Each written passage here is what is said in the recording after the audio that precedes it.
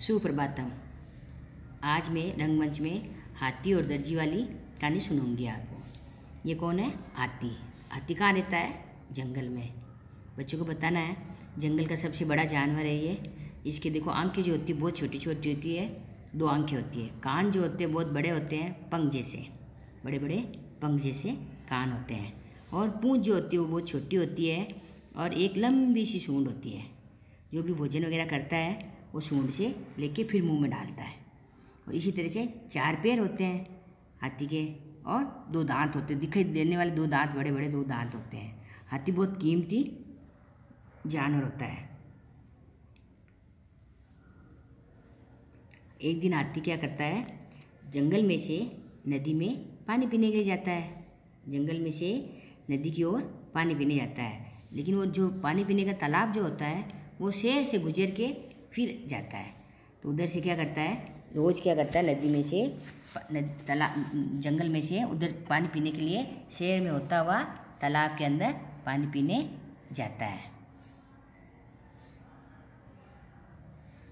रास्ते में एक दर्जी की दुकान। रास्ते में किसकी दुकान है? एक दर्जी की दुकान होती है। दर्जी जो होता है वो क्या करता है? उस हाथी को रोज़ केला देता है। और हाथी उसके पास रोज़ आता है, क्योंकि हाथी उसे सने करने लग जाता है और वो भी दर्जी क्या करता है? दर्जी भी हाथी को रोज़ एक केला देता है। और दर्जी कौन होता है? जो अपने कपड़े सिलते हैं। बताना चाहिए, दर्जी कौन होता है जो अपने कपड़े सिलता है? तो दर्जी कपड़े सिलने के लिए हाथी क्या करता है? वो कपड़ा सिलता रहता है। दर्जी तो दुकान पे हाथी आता है और दर्जी क्या कहता है उसको? एक रोज़ क्या देता है उसको? एक केला देता है। ये देखो हाथी को केला दे रहा है। हाथी को क्या देता है? एक केला देता है। और हाथी बहुत खुश होता है। हाथी खुश होके उस केले को और आगे केला, जैसे ही हाथी केला लेता है, केला लेके हाथी आगे चला जाता है। जैसे उन्होंने इसने केला दे दिया, केला देखो मैंने कहा ना, सूंड में से मुँह में की ओर खाते हैं। सूंड में लिया और अपने मुँह में रख लिया।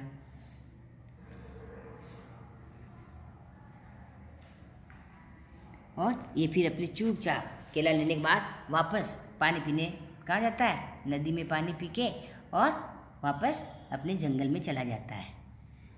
इसी तरह से ये चलता रहता है। एक दिन क्या होता है, जो दर्जी जो होता है ना, वो किसी काम से बाहर चला जाता है।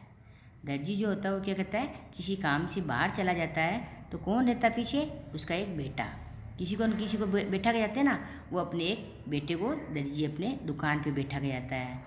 और दर्जी का बेटा क्या होता है, बहुत नटखट हो, नटखट होता है, थोड़ा बहुत शेरात बदमाश होता है। ये दर्जी का बेटा है। दर्जी का बेटा दुकान के अंदर है है ना?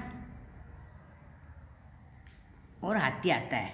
दुकान के पास देखो हाथी आया, क्योंकि हाथी तो रोज आता है। और दर्जी उसको क्या देता है? केला देता है।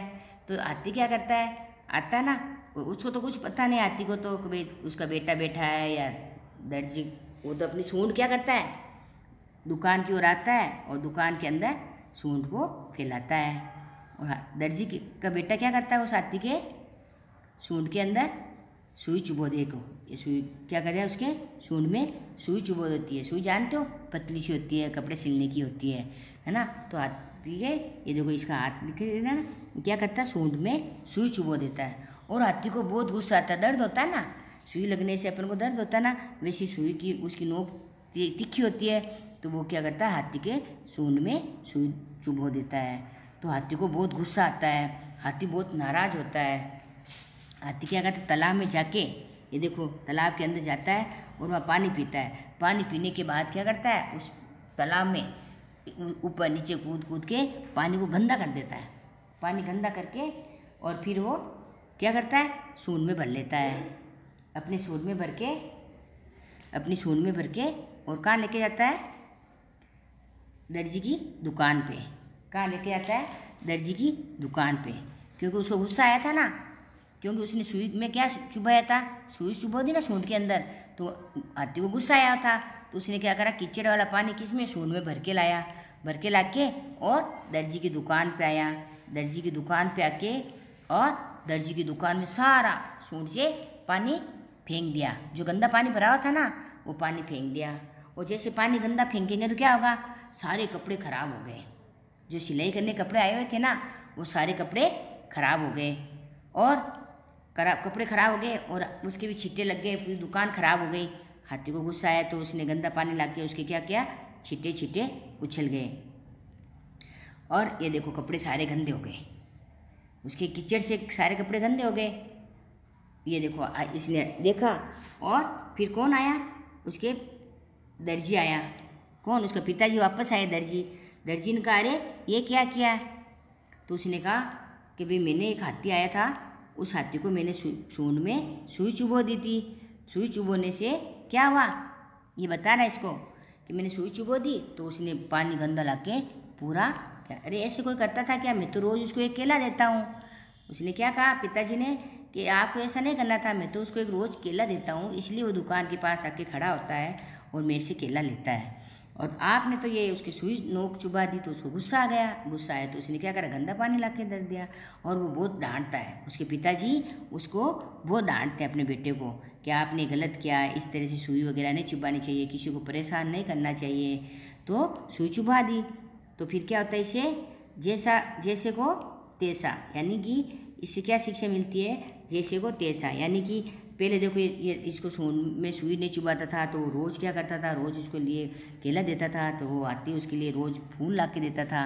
और ये इसने कहा, देखो इसे, ऐसी कभी भी गलती मत करना, किसी को परेशान नहीं करना चाहिए और किसी भी जीव जीवों पे, सभी पे, अपने प्राणियों पे अपनी दया रखनी चाहिए। तो उन्होंने कहा अच्छा ठीक है, आज के बाद में ऐसी गलती कभी नहीं करूँगा। उस भैया ने भी अपनी माफ़ी मांग लेता है, अपने पिताजी की बात मान लेता है। तो अपन को भी क्या करना है? पिताजी की बात माननी चाहिए कहना मानना चाहिए। कभी भी किसी प्रकार के प्राणियों की, सबकी रक्षा करनी चाहिए। उसको किसी प्रकार का कष्ट नहीं पहुंचाना चाहिए। तो उस बहन ने कहा कि आज के बाद में किसी भी प्राणी को जीव जंतुओं को कष्ट नहीं पहुंचाऊँगा। इस तरह से मैंने हाथी और दर्जी की कहानी सुनाई और आप सभी हाथी और दर्जी के बारे में कहानी सुनना अच्छे अच्छे भैया बहनों को बताना। क्या एक हाथी जंगल में रहता है, सबसे बड़ा जानवर होता है, काले रंग का होता है, ये सारी बच्चों को गहराई से जानकारी देनी है। उसकी छोटी पूँछ होती है बड़े बड़े कान होते हैं, हाथी का मुँह किस तरह का है, गजानन जी का जो मुँह होता है, वो हाथी जैसा होता है है ना? तो ये सब बातें बतानी है बच्चों को। इस प्रकार से आप सभी अभियोग से आग्रह इस कहानी को देखिए, सुनिए और बच्चों को भी बताइए।